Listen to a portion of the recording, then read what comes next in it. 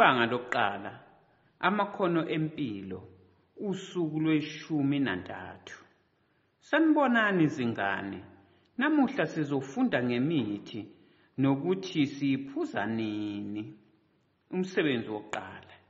Imithi ingakusiza uma ugula, kodwa futhi ingakugulisa uma uyiphuza kakhulu noma uphuza umuthi ongafanele noma uphuza umuthi ungaguli. Pho kumele ngiwuphuze nini umuthi? Phuza umuthi kuphela uma ugula futhi uma unikezwa umuntu wasekhaya noma udokotela. Asikho esinye isikhathi ongaphuza ngaso umuthi. Umsebenzi wesibili. Ake silalele lezi zindaba bese siphendula lemibuzo. uSindi wayephethwe isisu wabikela ugogo wakhe ugogo kaSindi waphuzisa uSindi umuthi ogcwele isipuni wasinda. Kungabe uSindi waphuza umuthi ngesikhathi esifanele?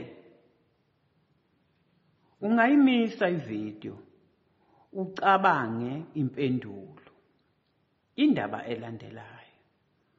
uThomi wayehamba epaki indoda angayazi yamfezela amaphilisi. Le ndoda yathi amaphilisi azokwenza uThomi ahlale ejabule. uThomi wenqaba ukuwathatha, wagoduka wabikela abazali bakhe.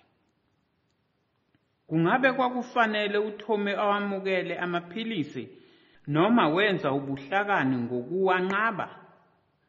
Ungayimisa ividiyo ucabange impendulo. Indaba yokugcina. Ngelinye ilanga intombazane yathola amabhodlela anamaphilisi. Ayenemibala emihle ebukeka njengoswidi. Le ntombazane yawadla amaphilisi yabe isigula kakhulu.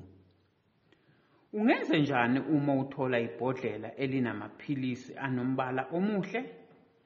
Ungawadla njengale ntombazane ugule kakhulu nawe noma ungawashiya lapho uwathole khona? Ungayimisa ividiyo ucabange impendulo. Njengento yokugcina emnandi ezokwenzeka ngemuva kwalesi sifundo, celani abazali benu baqoqe yonke imithi esendlini bayivalele ukuze kungabikho umuntu ozoyiphuza nangengozi.